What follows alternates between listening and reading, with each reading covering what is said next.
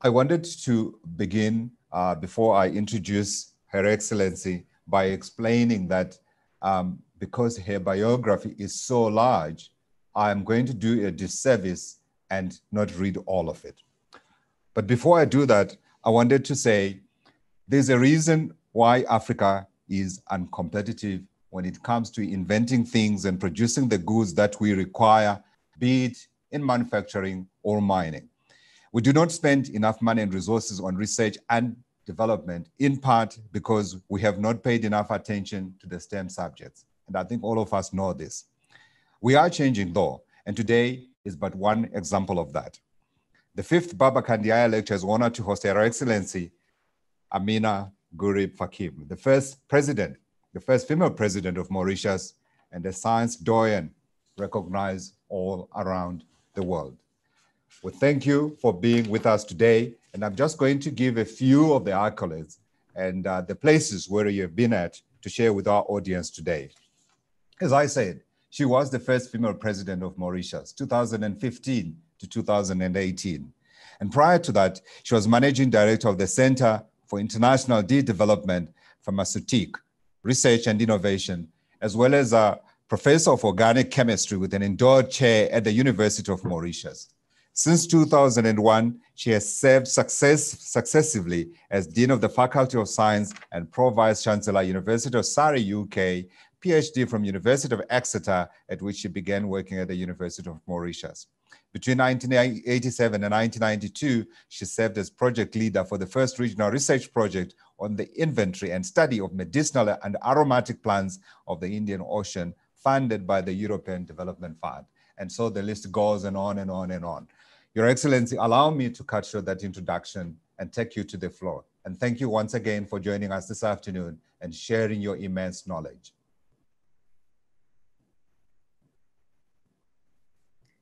Can I start the video? Yes, ma'am. The, the host, uh, I think is, uh, I, I, cannot start the video. The host has to do it. Okay, I am waiting for them to do so yeah. right away. That's fine. okay. Thank you so much, Mr. Moderator. Excellencies, distinguished guests, ladies and gentlemen, it is an honor and a great privilege to be delivering the fifth annual Babacar Ndiaye lecture to such a distinguished community and audience.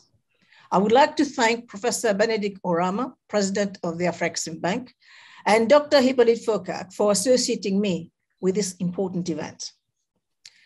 Ladies and gentlemen, Africa starts with a considerable deficit in spite of its natural advantage and huge asset endowment. The continent of ours is about three, 30 million square kilometer, representing 20% of the Earth's surface. She's home to 1.3 billion people, representing 17% of global population, targeting 2.5 billion by 2050, and also home to sway of forest, minerals, among so many riches. Yet, the continent produces only 3% of global GDP, accounts for less than 3% of global trade, and most of it is dominated by primary commodities and natural resources, and carries 25% of the global disease burden, accounts for only 2% of world research output, 1.3% of research spending, and 0.1% of patents. How can a continent with the largest share of the world's arable land, 60%, a continent with the youngest population, a continent that has fueled all of the world's industrial revolution, a continent that has helped drive the mobile phone industry, a continent that is at the cusp of supporting the world's energy transition to greener technology with a large store of rare earth mineral deposit accept such dismal statistics. Our challenges, ladies and gentlemen, are fundamental and structural. The deficit of investment in science and technology and absence of economic and scientific infrastructure for innovation have undermined the process of economic transformation both at the structural level, shift of workers and resources from low to high productivity sectors, and at the sectoral level, the growth of productivity within sectors. The consequences of that deficit have been significant and include continued reliance on the colonial development model of resource extraction, largely responsible for the debilitating poverty trap and aid dependency trap. But these challenges have been compounded by economic fragmentation, with smaller markets constraining long-term investment and injection of patient capital to foster innovation and drive technology transfer in the context of globalization. The African Continental Free Trade Agreement, AFCFTA, which defragments Africa to establish the largest single market in the world by membership and created the conditions for scale, also lifts one of the most important constraints on the path of economic transformation. By meeting that challenge of economic transformation, a development objective that has eluded Africa for decades in the AFCFTA era hinges on Africa closing its scientific and technological gap with the rest of the world and sustainably producing the right set of skills to address the supply side constraint and ultimately expand both extra and intra-African trade and sustain higher rates of growth to accelerate the process of global income convergence. Currently, we have a public education system that prescribes rote learning rather than the independent critical analysis and thinking that is needed to succeed in knowledge intensive economies. That system has neglected the sciences, which have, which have been the major drivers of growth and innovation for decades. Just a few statistics for illustration.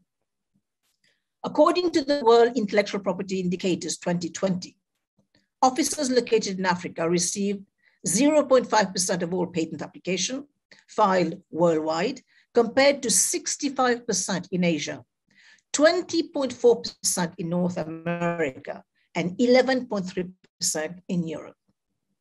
According to UNESCO, sub-Saharan Africa was home to only 0.7% of world's researchers as of 2018, representing 14% of the global population. 13 out of the 20 underperformers in terms of research per million of people are based in Africa, with as little as 11 researchers per million people for the worst performers. And most, this is, of course, the most recent data. In comparison, outperformers such as Denmark, Sweden, Korea, respectively, have 8,066, 7,980, 7,536 researchers per million people. Ladies and gentlemen, the greatest dream of most African graduates is to find a job instead of fostering entrepreneurship and drawing on their creativity and animal spirit to find solution to economically rewarding problems. And we have so many across our continent in the medical and pharmaceutical industry, and the COVID-19 crisis has shown, in the housing and urban development, as our cities illustrate, in the climate space, as our excessive reliance on import of refrigerators and air conditioning illustrate, in the energy sector, the chronic deficit of power across the continent, including in South Africa, the most sophisticated economy in the region illustrate. However, the AFCFTA that aims to unlock manufacturing potential, drawing on the rules of origin to facilitate industrialization, driving sustainable growth and jobs, among other objectives, will need a different set of skills to fully deliver on its full transformational power. The key boon of manufacturing is that it absorbs large swathes of workers and places them into productive and decent paying jobs. Throughout history, this exact recipe has transformed the United States, United Kingdom, France, Japan, Germany into some of the world's wealthiest nations. Most recently, a new age of industrialization has helped push China into one of the world's fastest growing economies, boasting the largest middle class with other Southeast Asian countries following closely behind. These are all examples of how industrialization can generate rapid structural change, drive development, and alleviate poverty and unemployment. However, this narrative seems to exclude many African nations. Despite the manufacturing potential and promising trajectories, most African countries have remained largely dearth of factories. This limited industrial development represents a missed opportunity for economic transformation, characterized by the expansion of manufacturing output in a context of a strategic shift of workers and resources from low to higher productivity sectors through the more entry and growth of technologically intensive firms and sustained effort to foster innovation in the higher productivity sectors. The silver lining is the potential. Business to business spending in manufacturing in Africa is projected to reach 666.3 billion US dollars by 2030, 201.28 billion more than it did in 2015. Africa is also set to become the great manufacturing center, potentially capturing part of the 100 million labor intensive manufacturing jobs that will leave China by 2030. This trend creates a huge opportunity for the continent, not only for countries such as South Africa, Egypt, and Nigeria, all regional outperformers in the Global Manufacturing Competitiveness Index, but also for new players such as Ethiopia, Morocco, Rwanda, and others, all of whom have recently adopted policies enabling manufacturing and industrial development. Today, leaders are increasingly realizing that manufacturing is a major factor in helping Africa realize its development potential and narrow its income and welfare gap with other regions of the world. The African Union has made industrialization and export diversification the centerpiece of its strategy, Agenda 2063, the Africa we want.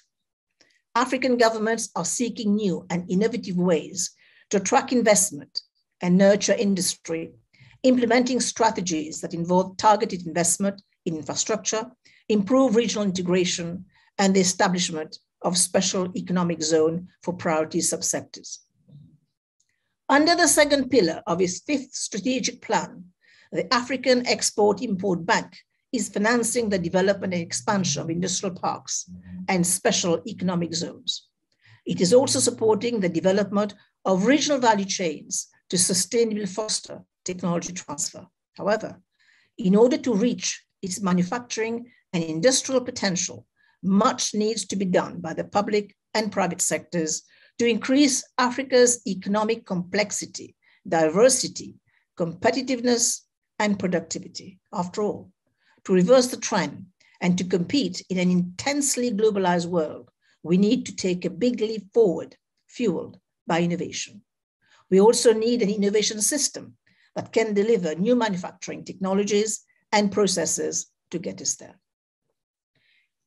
Ladies and gentlemen, at a macroeconomic level, countries across Africa are chronically dependent on aid and urgently need to turn the attention to attractive business, private investment and venture capital and marshalling innovation. But it is not all gloom and doom. Africa has the youngest population of any continent. According to the World Economic Forum, the median age among the 10 youngest countries on the continent range from age 14 to 18. We ignore this significant demographic asset at our peril. These inexorable trend, trends mean that by 2034, Africa will be home to the world's largest number of working age adults. The World Bank estimates that 11 to 15% GDP growth over the next 20 years will be attributable to these favorable demographics. The energy is palpable with world-class innovation emerging from technology incubators in cities from Kigali to Harare to Lagos. Ladies and gentlemen, as we explore the best strategies to build and sustain research and development capacity for Africa's economic growth, and economic and social well-being, we need to look anew at how science, technology, innovation can be better mobilized to propel us in our journey to achieving the UN SDGs by 2030 and the Africa Union Commission's Agenda 2063. Fortunately, there are many nascent success stories that we can draw upon and that need to be replicated speedily at scale. In certain technologies, in certain sectors of technology entrepreneurship and application, we know that we are pivoting to a better place. The energy is palpable. We see this most prominently in telecommunications. In 2006, according to The Economist, there were fewer than 13 million landlines and 130 million subscriptions to mobile phones in all of Africa. Today, over a billion of the continent's 1.4 billion people have access to mobile phone. These in turn have served as a platform for innovation and in the efficient delivery of services. Of particular note, financial services and mobile money, initially developed in East Africa and spreading across the continent. Across sub-Saharan Africa, relatively few people have traditionally qualified for bank accounts. But today, everything from bananas in the marketplace to software for our PCs is purchased through the mobile money platform created in Kenya, M-Pesa. Afreximbank Pan-African payments and settlement system, which is set to facilitate payments for cross-border trade in African currencies, will not only assuage the liquidity constraint, it will also push the boundaries of efficiency and productivity at the continent level with significant implications for growth and structural transformation. Indeed, the GSMA, the International Telecommunication Trade Organization, notes that for every 10% increase in, in phone penetration in poor countries, productivity improves by more than 4% percentage point, and that a doubling in mobile data usage increases annual per capita GDP growth by half a percentage point. Ladies and gentlemen, M-KOPA is an energy startup built in, on the mobile money platform, M-Pesa, enabling families to purchase clean home energy in payment as small as 50 cents. M-KOPA brings solar energy to more than 500 new households every day, totaling over half a million East African homes that were previously unreached by power lines. With only one in three Africans having access to energy, energy security is crucial to fighting poverty, improving productivity, sustaining the growth of output, especially industrial output, and nurturing the next generation of scientists. Together, these families receive over 60.5 million hours of clean solar energy per month through this technology. And as a business enterprise and contributor to the economy, M-KOPA has raised well over $50 million in venture capital, providing full-time jobs to over 1,000 people and retaining over 1,500 sales agents. Paradoxically, a big factor in exemplary and appropriate technology successes, such as M-KOPA, is that in many cases, we do not carry the burden of entrenched industries with vested financial interest that perpetuate business as usual, the large number of unbanked people, leading to mobile-based financial services. The absence of an energy grid in rural communities invites solar energy solutions, such as M-KOPA. The absence of investment telephone lines clears the path for adoption of mobile telephony, and so on. Ladies and gentlemen, as these few success stories show, there is greater recognition about the role of STI can play in achieving national development goals and challenge is to maintain this momentum. Shining example of world-class innovation in Africa are emerging, for example, from technology incubators, creating techies across the continent. As a result, Africa is attracting actual capital investment necessary to build industry that is sustainable in the long term rather than further cultivating aid dependence which by its nature is short term and has never led to either the development or structural transformation of any region or country. Whether in the realm of energy, banking, communication, medicine, agriculture and irrigation, transport or manufacturing, the major drivers of growth and productivity gains have been in science, technology, and innovation. And innovation which is increasingly treated as a deliberate outgrowth of investment in industrial research by forward-looking and profit-seeking agents, has become a major piece of the economic transformation puzzle. In fact, since the 1970s, the world has moved from organization change-driven growth to technological change-driven growth. No wonder the largest corporation companies on Wall Street have, big, have become tech companies.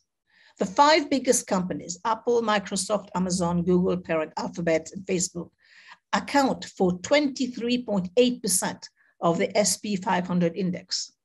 Technology has produced more billionaires over the last 20 years than the total number of billionaires produced during the 50 years which followed the end of World War II.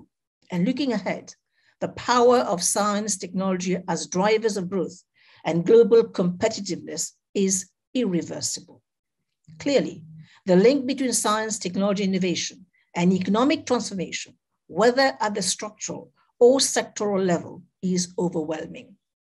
The key policy is what are the, the key question is what are the policies, skills, and contours of the scientific ecosystem that will foster sustainable, sustainable growth of scientific and technological innovation to sustain and accelerate the process of economic transformation.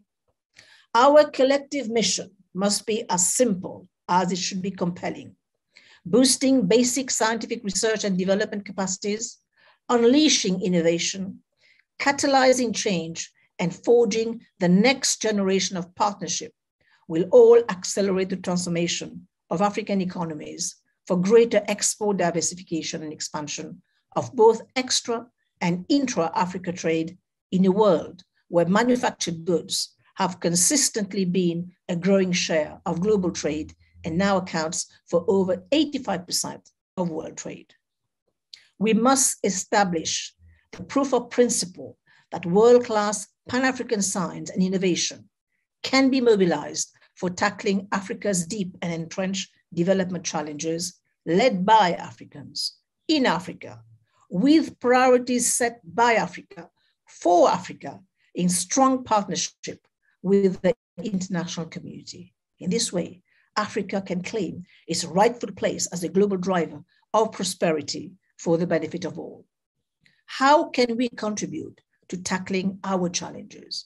By building dramatically scaled up infrastructure for research, help, help create the right policy environment, and supporting sound governance of institutions, and most of all, investing and unleashing the scientific capacity of people, not forgetting women. We know the best trained, most talented researchers naturally gravitate to environments where their work is leveraged by modern equipment, reliable utilities, and sufficient funding for supplies. And more critically, benefiting from the presence of other talented people. Africa's brain drain must be transformed into Africa's brain gain by creating a research infrastructure that rivals the best in the world right here at home.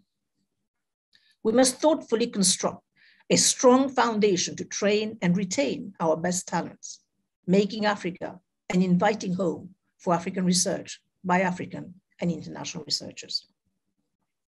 Only success will beget success.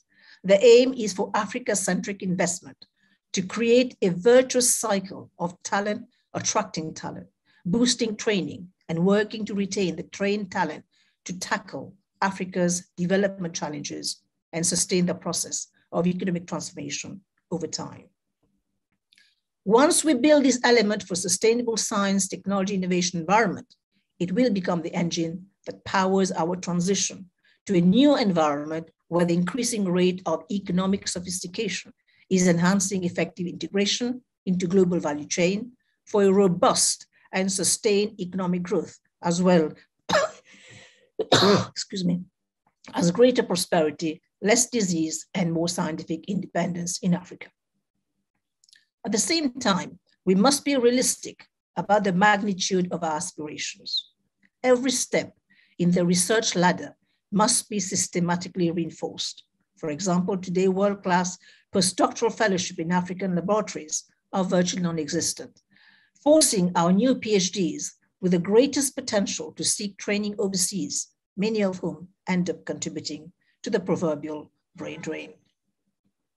This is a collective loss to major subsidies to the new host country, often more industrial economies, which are always very quick to, trump, to trumpet their generosity under the debilitating aid-dependent model. We must rise to the challenge by creating research universities capable of not only producing world-class science, but also serving as training incubators at the graduate and postdoc levels. Ladies and gentlemen, a thriving research establishment requires a critical mass of postdoc researchers who can not only dedicate the time to in-depth research, but also provide guidance and practical training to aspiring graduate students. Universities that aspire to become competitive research institutions must attract the best trained PhD holders from everywhere in the world as postdoc to reinforce a critical thinking in the research chain, which will be an essential contributor to driving innovative outputs from these institutions. In order to recruit and retain this level of talent to create a critical mass of independent African researchers, leaders, sustained funding and infrastructure, including the most modern equipment, must be provided. These steps require not only research training and resources, but also the capacity to engage successfully with fellow researchers, funders, government, policymakers, communities, and other stakeholders to serve as mentors and supervisors for the next generation of scientists in Africa. Our financial goal must be easy, as we need to raise funds from both the public and the private sector, a manifestation of the UN SDGs, a master plan for ending poverty, protecting the planet, and ensuring that people enjoy peace and prosperity by 2030. The public part of this investment is manifest in the commitment of African nations to dedicate 1% of their GDP to research and development. Although the continent is far from achieving this ambitious target, the goal itself validates the belief that investment in Africa by Africa herself is essential to long-term prosperity. the challenges are multifaceted. There are many moving parts. Our wealth, prosperity sit at the nexus of not just the interdependent, transdisciplinary nature of health research and our ability to and willingness to share our research outcome openly and transparently, but also in the broader context at the intersection of nutrition, health, agriculture, environment, governance, and the economy. But it can be done because it must be done. Our ability to create a sustained future for ourselves isn't optional, it's existential. It may seem overwhelming, but there's an African proverb that says, if you wish to move mountains tomorrow, you must start by lifting stones today. Those dedicated to building a thriving, self-sustaining Africa, where science is the new lifeblood of economic transformation in our beloved continent, are invited to bring their stone so that we can move mountains together, starting with politicians and bankers who hold the purse, and then every young African who has the potential to be a great scientist must work hard to realize its potential for the benefit of the continent and humanity. And then the private sector must rely on African scientists to innovate and to become globally competitive to sustain the transformation of African economies. And then over time, and through a vibrant public-private partnership for economic transformation supported by African scientists, the process of continued innovation and scientific will expand the power of Africa's purse, and reduce its excessive dependency on external debt financing. But creating an ecosystem where the scientific culture becomes central to economic transformation policy making decision process is a long-term investment and should not be affected by either political or business cycle. Hence, to achieve a success in the path of economic transformation, effective collaboration under the tripartite public-private academia partnership for economic transformation in the FCFTA era must be sustained over time. As part of my ongoing effort to use my bully pulpit for advancing the cause of STI, I contributed an op-ed in Nature calling for a greater push to mobilize the entire potential of indigenous African plants to generate growth and the next generation of drugs and pharmaceuticals for tackling Africa's disease and promoting health and well-being on the continent. The overall purpose is to provide a, use, a useful illustration of how strategic investment in Africa's capacity for research and development can return big human and financial dividends and expand potential in the health and pharmaceutical industries, which are growth industries in Africa with tremendous potential for economic transformation.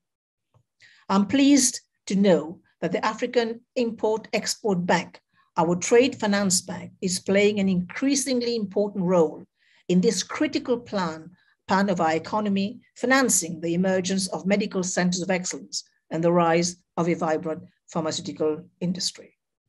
Ladies and gentlemen, today, 60% of commercially available drugs are based on molecules derived from natural sources. As an organic chemist and biodiversity scientist, I see the great significance of this fact, especially when we consider that 25% of all plant genetic resources reside in Africa. Yet, of the 1,100 drugs marketed globally that are derived from plants, only 83 are synthesized from African species. We have left 45,000 plant species unexplored for their potential to serve as the molecular basis of pharmaceuticals and underdeveloped to potentially alleviate human suffering and drive economic prosperity for Africa. Moreover, we are in a race, we are in a race against time. Species are disappearing fast because of climate change, habitat loss, development, and other pressures. Sadly, the extinction rate of plant species on the continent is almost twice the global average, and this must be reversed. Financial commitment to exploiting opportunities to develop drugs is necessary, but not sufficient. It also requires technical, legal, regulatory, cultural conditions to enable and nurture development. Complicating matters, traditional information about the uses of plants is usually transmitted orally rather than cataloged and indexed formally, and recipes are considered trade and family secrets, and so are unlikely to be shared. As an African proverb says, an elderly person's death can be like a library that is burnt to the ground. For too long, we have underestimated and undervalued indigenous knowledge about our flora and fauna. Yet, that knowledge can be a major catalyst for endogenous growth and sectoral transformation in a continent that is spending more than 16 billion US dollars annually on import of drugs and pharmaceutical products. Other developing countries are tackling this challenge in different ways. India has established the Ayush Ministry, dedicated to the development of indigenous medical plants and systems. China is working with the WHO to catalog and document in English species commonly used in Eastern medicine. China and India are large countries compared to tiny Mauritius, but the challenges of conservation transcend national boundaries even though Mauritius and nearby islands are designated as biodiversity hotspots. Almost 100 species have become extinct since the arrival of people in the 17th century, and less than 2% of the native forests remain. With the right set of priorities, even small countries like Mauritius can punch above their size by recognizing the potential of scientific research and development. To this end, I helped found what is now the Centre International pour le développement pharmaceutique, which looks for innovative ingredients for our local species, from our local species, and bring them up to international standards for further development. There are several success stories of knowledge that is crossing the valley of death from lab bench to marketplace due to such efforts. A recipe from the San people in Southern Africa has led to standardized extracts of the plant Sceletium tortuosum to be tested for their tranquilizing properties other extracts of African plants, including nuts of the shea tree, seed oil of the baobab, are used commercially across the globe in skin and beauty products. The challenge for ambitious initiative is to spread investment-worthy ideas more widely across the continent and in various industries and sectors so that the process of economic transformation is broad-based. And I'm convinced that catalyzing greater collaboration will hold the keys to success. There is an African proverb that says, the best time to plant a tree was 20 years ago. The second best time is now. I hope we can bring many seedlings and shovels and plant many trees that will flower together, nurtured by the best scientific knowledge available and talents of Africa. It can be done as responsible stewards of the earth and specifically for our beloved continent. It must be done so that the benefits of STI are marshaled for greater economic, social, environmental sustainability, both on the continent and beyond. I thank you for your attention.